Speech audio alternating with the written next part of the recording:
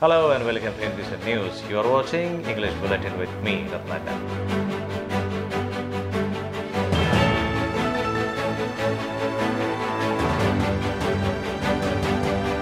The news. It is really worrying as the COVID-19 positive cases in the city are increasing day by day. Recently, the officials and employees of Civic Administration headquarters in civil lines have tested positive.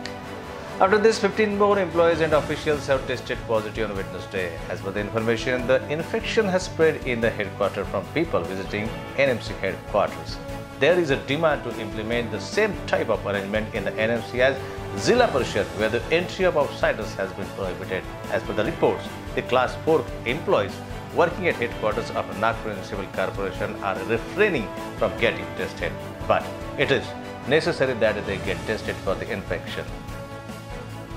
The result of the sanitation campaign for cities with a population of over 10 lakh were announced on Thursday by the Union Ministry of Urban Development. And this, Indore city has maintained its first position. Nagpur jumped from 57th position to 18th position and 5th position in the state.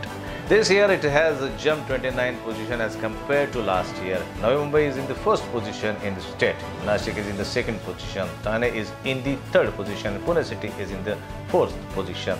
Surat is second and Navi Mumbai is the third. Sanitization survey was conducted by the Union Ministry of Urban Development in major cities across the country, including Nagpur.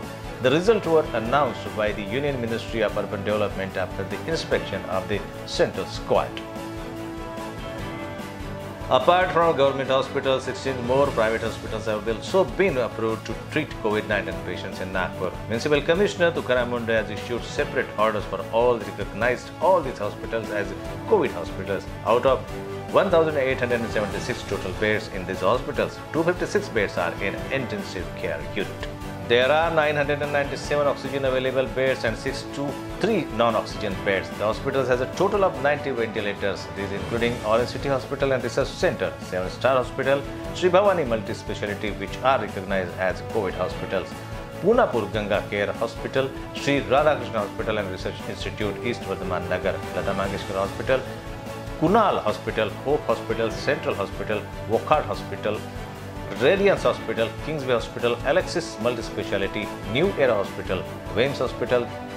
Tukaram inspected all on Wednesday. If it is severe, the first duty of the hospital will be to treat first, put him on a ventilator if necessary and stabilize the patient.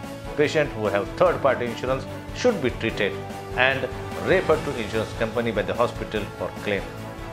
As per the circular of the government, 80% of the beds should be reserved and the bill should be charged at the rate fixed by the government.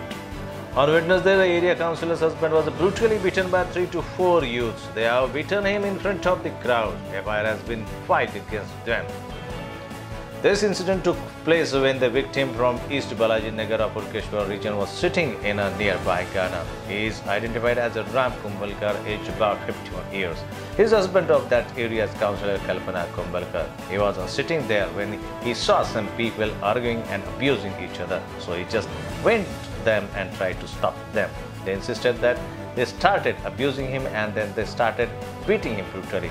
They busted his head from stone. As the crowd started gathering there, they all ran away. Police are now investigating the searching for the culprits. On Thursday, 989 new cases of corona were reported in Nagpur city, which brings the figure to 17,722. Also, the death toll reached 625 with 46 deaths today. Today's 46 deaths are the highest deaths ever. In addition, 1,235 infected patients have recovered and gone to their home. Things are getting worse day by day. So Nagpurkars suggest to just stay at home and to take care of themselves. That's all from this bulletin. For more updates in and around the city, stay tuned with INBCN News. Till then, Ratnakar says goodbye. Please do take good care of yourself.